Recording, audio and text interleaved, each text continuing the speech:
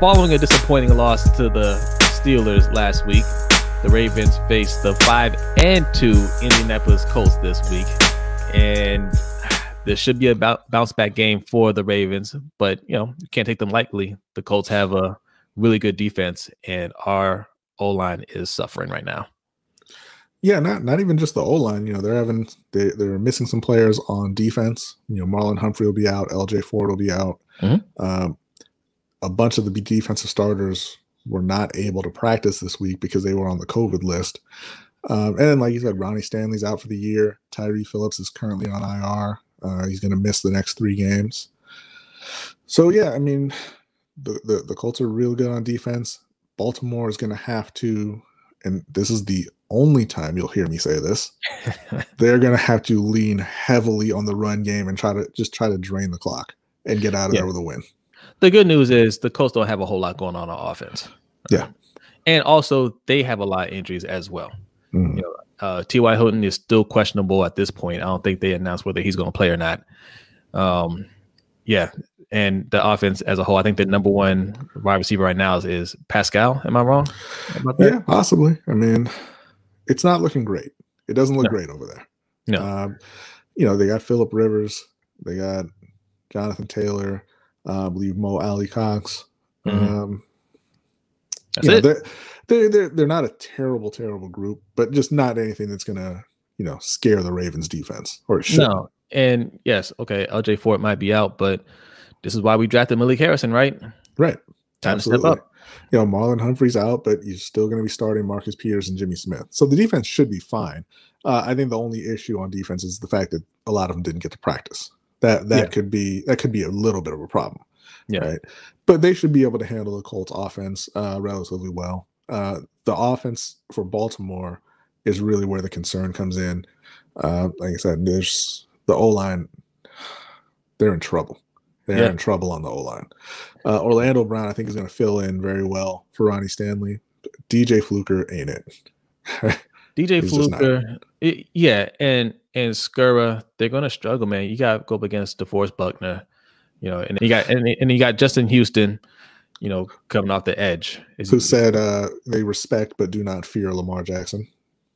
Who said it? The Colts said that? Uh, Justin Houston. Oh, I mean, whatever. I mean, you shouldn't fear anybody. That, I, don't, I don't care. All right, but should fear Philip Rivers. And look, I bet he does. Listen, he doesn't have to. He doesn't have to fear or respect Lamar Jackson because he's going up against that O line, and nobody fears our O line. Right. So and listen, you, I, I am always confused when people say that. Oh well, you know, I don't, I don't, I'm not, I'm not afraid of you. Well, that doesn't mean anything. He's that's not going to make him slower. No, it's not. It's not no. going to eh, you know enable you to tackle him. Doesn't matter right. if you're afraid or not. Right, right. I don't know, man. Like, I, I can't even say my confidence is shaken in Greg Roman because I didn't have a whole lot of confidence in him to begin with. Mm-hmm. Right. Uh, but like you said, just call a establish a good run game. You get the run game going, you should be able to handle them because I just can't see the Colts putting up a lot of points on this defense. They better not. I mean, yeah. look, we if you watch our our streams from last week, some of our videos, uh, we've maintained our position that the defense has to do more. Right. That game last week, a lot of people put it on Lamar, and Lamar definitely has to play better. Can't turn the ball over four times in any game.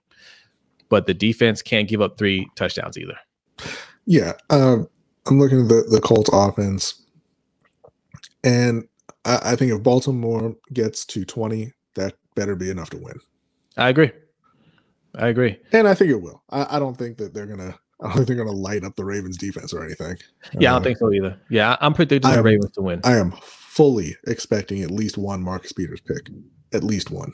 Yeah, I I have this being a two score game for the Ravens. Mm-hmm. Yeah, I'm gonna say, that. Yeah, I, I think it's going to be like 24 14. Yeah, uh, I was thinking more like 24 10, but yeah, somewhere right in there. Yeah. Yeah. I, I don't think they're going to put up a ton of points. Uh, I think they're going to be running most of the day, but they, they should be well in control in this game. Yeah. Yeah. 24 10 i can see that 24 14 i say that because they could probably get like a late touchdown you know once once we establish a huge lead we kind of let teams get back in it a little bit You yeah. know, so I, am I'm, I'm expecting like a late touchdown make it somewhat interesting at the end, but not quite. You know. Yeah. Yeah. So, yeah, you know, we need that. We need Lamar just to get in rhythm this game. Um, just look, they can't protect them, right? They don't have the O line to protect them, so nothing, nothing too outlandish. Try to establish some screen passes, some short passes, you know, play action. Keep it simple. Mm-hmm. Absolutely. Uh, and again, J.K. Dobbins should be the lead back in Baltimore. Yeah. And I mean, they, they did it last week. Uh, and I would like to see them continue giving Devin Duvernay more snaps than Miles Boykin. Yeah. Uh, I don't think he's you know overly talented or anything. Uh, I think he's more. I don't want to. I don't want to say a gadget player, but uh, he's a, he's more limited as a receiver. But he is the one guy uh, who's really shown that he he wants to make a play every time he gets the ball. Yeah, yeah, I agree. And that's something and, Baltimore needs. And Dobbins will get more carries this week as well because I think Mark Ingram is going to be out again this week. Right. So uh, Dobbins had a really good game last week, and like you said, just keep feeding him the ball and see what, what you know he can do with it, and hopefully coming out this week he can establish himself as the number one running back, right? Mm-hmm. And you know when Ingram comes back, he should be the number two because I still like Ingram over Gus Edwards. Yeah, he's a more talented player than Gus Edwards. Gus has been, you know, he's been good and, and mm-hmm. obviously improved from a couple years ago when he was the the starting running back, but he's still not as good of a player as Ingram or Dobbins. Uh, In, yeah, Ingram's issues is his is his health at this point. Yeah, he's yeah he's getting dinged up. So you know, an extra week of rest. Hopefully, he comes back and he's close to hundred percent. And him being that you know that number two to that one two punch should be really good. And you're still yeah. using obviously Gus Edwards, just not getting as many carries. Right. Yeah. So the keys to the game for us, Dobbins needs to needs to carry the load in the run game. Run the ball, and Dobbins needs to be leading that that run game. Get Devin Duvernay more involved. You know. Yeah. Um, and and, and, three, and lean on that that vaunted defense. Yes, and yep, the defense. And four, run the ball. Yeah. no, def- defense definitely has to has to step up this game. I I don't think they played bad last week, but I wouldn't say they played good either. Right. right.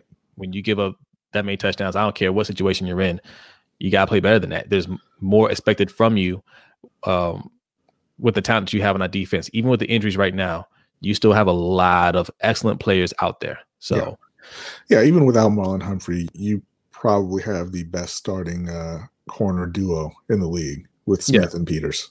Yeah, and I know I know Smith is dealing with some back issues right now. That's what they're saying. But if he's out there playing, I don't want to hear any excuses. You gotta go yeah. out there and play.